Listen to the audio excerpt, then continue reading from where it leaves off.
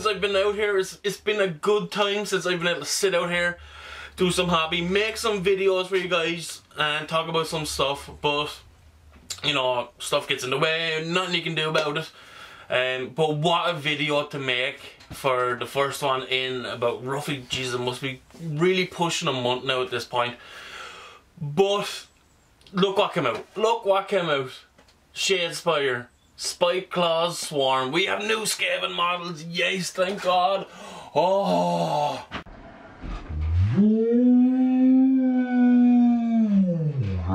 Oh, we have new Skaven models. There's only five, but these are super, super awesome. And can you see that with the, I know there's a lot of glare of the light on it. A lot of kind of focus. Just take over my head there. We have Spiteclaw's. I was going to say Spiteclaw's Sperm. Spiteclaw's Swarm. Now, of course, I just couldn't get one of these boxes. I had to get two. But I'll talk about these. Why I got two, I'll talk about a little bit more in the video. So I'm going to be doing an unboxing video for these. We're going to be looking at the models in detail. I was going to do in this video, uh, like I'm going to build them up and everything, but I, I, think I might go on a bit too long. So I'll do that in a separate video. I'll put them together and we'll see what they're like. The boxes are heavy. They're heavy, there could be a lot more in it than I thought. Now I'm completely new to Shadespire and Warhammer Underworlds. Well not completely new, I know about it. But I've never had any of the models or read the rules or anything. So I'm super super excited to see what these guys are like and to build them. And we have new Skaven models! Thank God! Woo! Yes! So uh, enough of me getting too excited over plastic models. Let's have a look at what's in the box. Alright, so the first thing, the very first thing you're gonna notice about this box is it's pretty thick. it's it's a lot thicker than I thought it was gonna be. It's heavy, and um, so I wasn't too sure what that was gonna be at the start, but um, when I opened it up, it's it's the cards. Now, one of the things I noticed, look, I've entered damage in the box already because to try and open this, maybe I should have opened it from the bottom. I will for the other box. But it's kind of hard to get in behind this flap here to pull it open and unfortunately I did have to rip this cool little brand new box. But uh, I, don't care about the box too much. It's nice to look at. But what I'm really wanting to look at is that Spiteclaw Swarm. So we have your instruction booklet. These are snap fit models, so uh, unfortunately I know all these guys have like individual names and I really thought that the names might be on uh, the instruction booklet, but it's not. So it comes in this really cool little box. Uh, let's have a look. So there you get two sprues. Uh, the bases are kind of molded bases, which is awesome. And it is the cards in the bottom that are really heavy. You get two decks of cards. I have no idea how Shadespire works. So these are completely unknown to me. But at the end of the video, I'll open these up and I'll quickly go through them. You have a card for Scritch Spiteclaw, so I'd imagine the rest of the named guys are in this one. And this is, looks like it's maybe like action cards or something like that. Aversion to death. Self-sacrifice is not an act widely celebrated amongst the Skaven. So, at the end of the video, I'll go through them because I just really want to have a look at these two sprues. These are the most important thing of the box, the two sprues. So let's have a look. Um, so let's see if I can find Spiteclaw first. He's going to be on this one. Now his base, let me see. I have a ruler here. I want to measure the size of this base.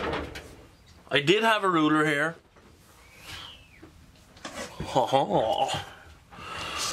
So his base is roughly 32 and then the smaller ones are going to be 25 so if that's that could be a thing for the future where you know what size bases to use for your clan rats which would be 25 which I'm pretty sure that's what I was using before anyway.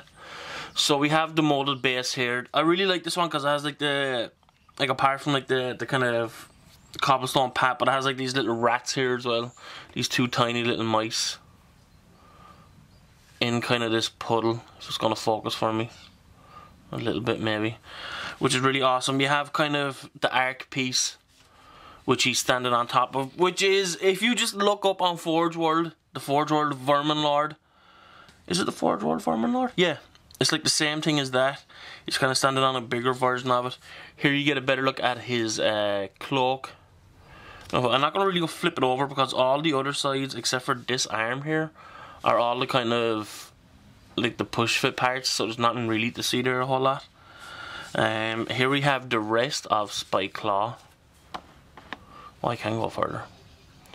Which he is full of awesome detail. He's really cool. Uh, his big um, halberd or spear, wherever wherever it is he's going to be holding, that's just alongside of him. Uh, let me have a look at the box to make sure I can. Yeah, he just has the one weapon. I'm going to leave that here so I can get a quick look at it. Um, he only has the one weapon, which is fine. His pose is like ultra dramatic. He has like or ultra dynamic. He has uh, the big kind of arch piece to kind of stand on as well. So here we have the back piece of one of the guys. He has like a flail with a shield, which I really like the use of a shield. Um, I don't think it's really seen enough in some Skaven models, so it's really nice to see that. Here we have two more arms, one with open hand. This one, this is the guy that's kind of posing like as if Spider-Man or Batman would. Um, another body, or kind of a lower part of the body. So like they're really posed super dynamic. This is probably the most basic looking piece in the whole box because it's just like a big straight line. It's like a leg all the way up to the head. Um, and here we have a look at another one of the smaller bases. Now this one, this one's pretty awesome. I never really copped onto this. It's probably one of my favourite bases in this. They have like the cobblestone and everything, but then it has like the grate with the little mice running underneath it, which is really cool. That's such a cool thing. Uh, the second sprue, let's have a look at the bases first on this one. So here we have your cobblestone and everything, and it has, let me see if I can get a, a right, the best angle for this to see it. Maybe it's going to be from this way. You can see this little mouse, this little mouse guy, sticking up or digging up from the floor.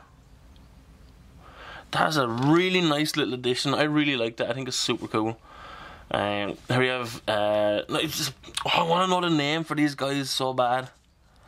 Um, I know they're online, but the details look really cool. I like the pose; it's kind of hunched over a bit. Here we have a leg. Now this is really awesome. You definitely do not see this enough. Uh, a tail with like a like a dagger on the end of it. Usually you see like I think a lot of the the Blood Bowl players have the Skaven ones have like like a piece of like sharpened metal or like a like a like a spiked ball or something like that. But you don't see a dagger with the tail kind of wrapped around it enough, which I really like. Um, it's a really nice looking paws. Here we have just another piece, kind of. It's really like how are these designed? It's so weird. Um, this base, very basic. What is this little thing? Oh, there's a little foot here. So it's very specific. So ugh, can't even talk. Can't even talk. So this base is for like someone specific. Oh, look at this pose.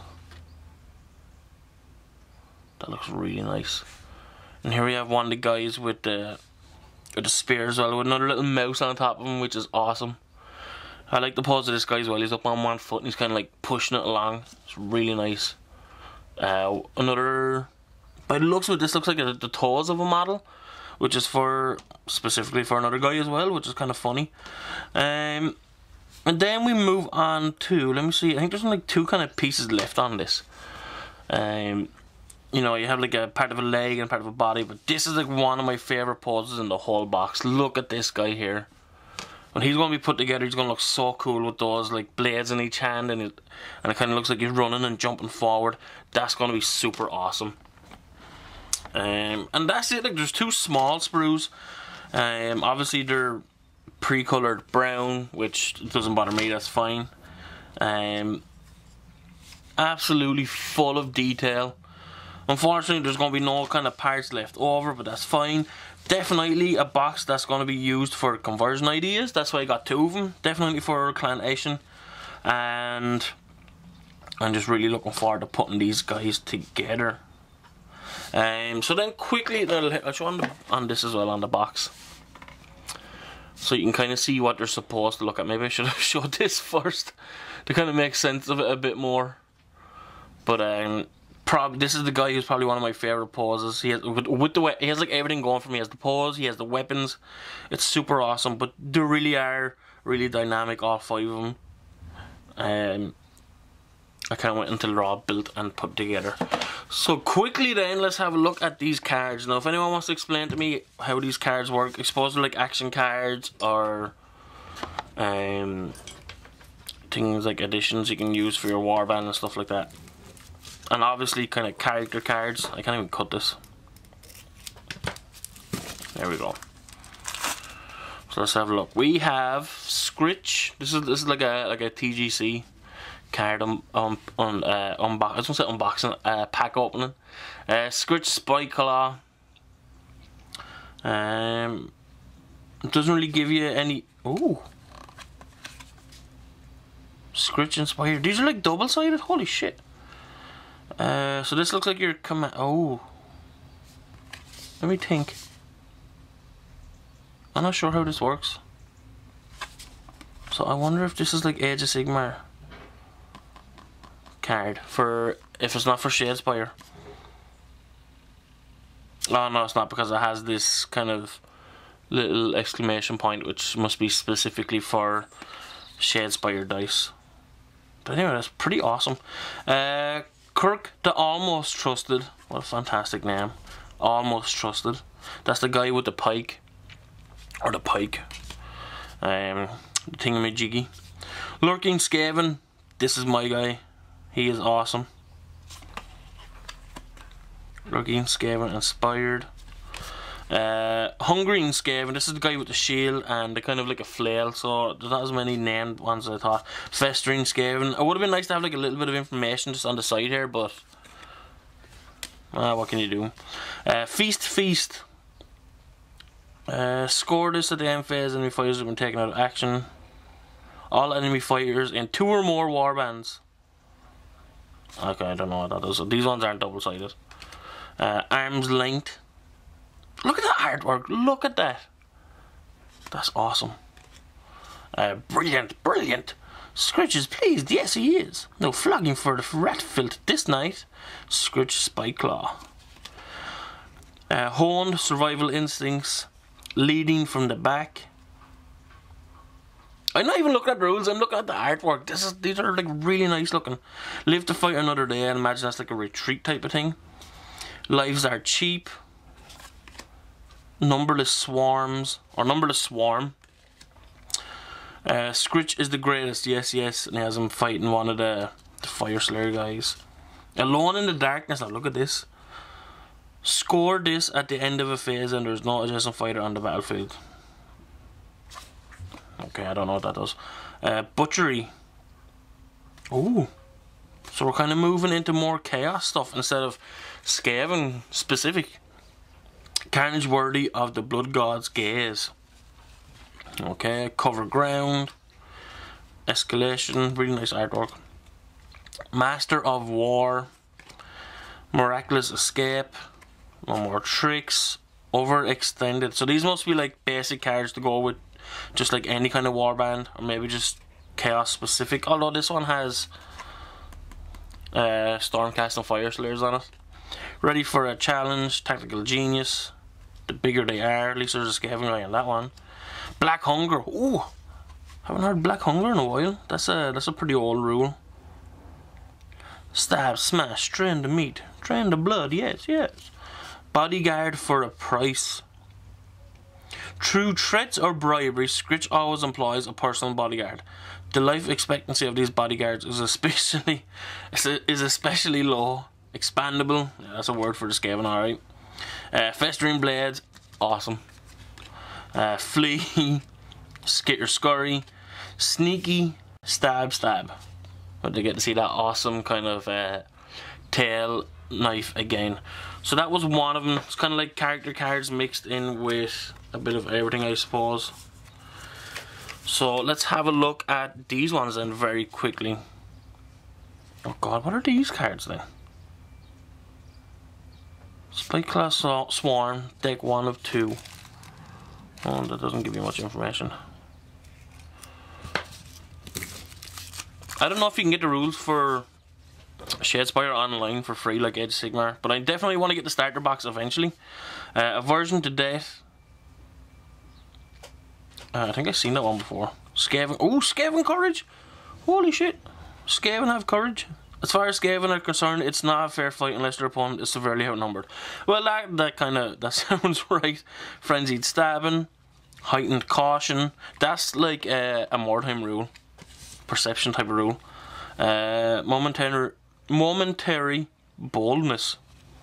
Musk of fear.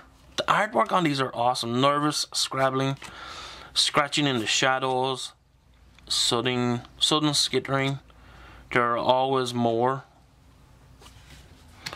curious inversiveness, inversion. No warrior is beyond defeat, for their greatest strength can quickly become their biggest weakness. Ooh. Last chance. That's cool artwork. That's really nice. Momentary madness. I think I've no, I haven't seen that one. Sacrificial pawn. Look at that. That's awesome. He's like, come here and take these arrows for me.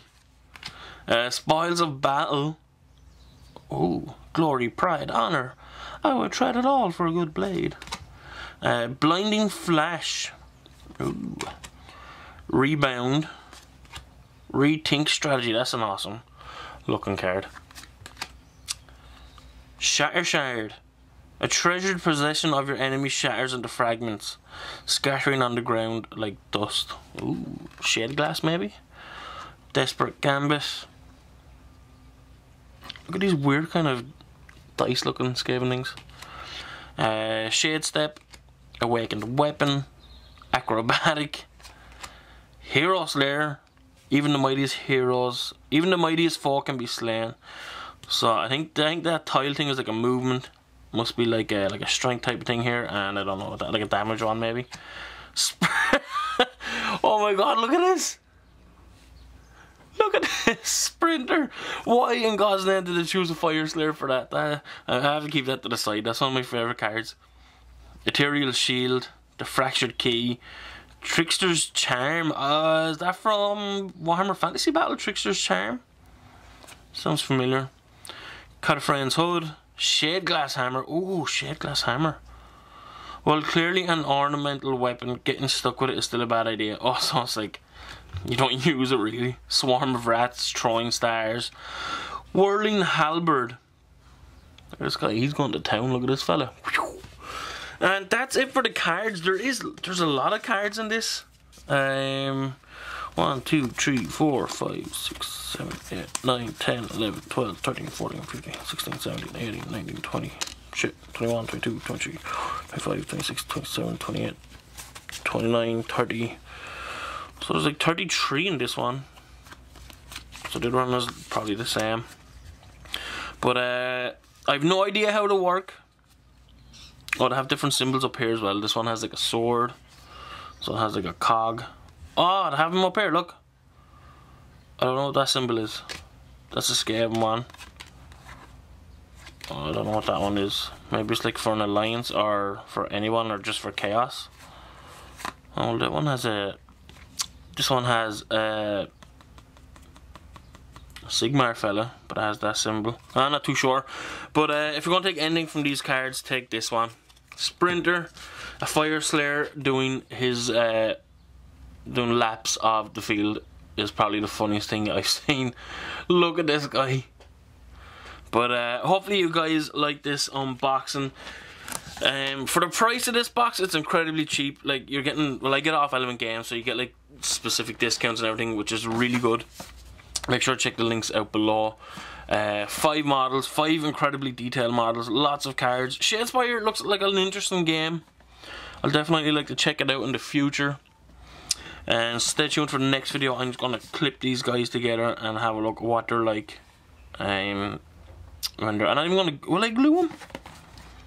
Yeah, there'd be no reason not to glue them because as I said, this box is for like the Shadespire guys. I'm going to like make them as normal and paint them. And this other box is going to be for like conversions and stuff like that. So there'll be no reason not to really glue these. I know they're snap fit, but I'm going to glue them anyway. But um, if you guys like this video, make sure to hit the like button, comment and subscribe. A really awesome looking box. Uh, there's a lot in it, a lot of cards, even though like the cards are kind of useless to me. I don't know how to use them, I don't play the game but they're there they're nice to look at they're nice to kind of add to the collection which is always good. So anyway, make sure to hit that like button and leave a comment. Let me know what you guys think about this awesome box. I'm, I'm strongly thinking about getting more of these kind of Shadespire boxes. They're really nice. They're cheap. They're cheap for what you're getting, I think. I think they're well worth it. But um, thanks for watching, and I will see you guys next video.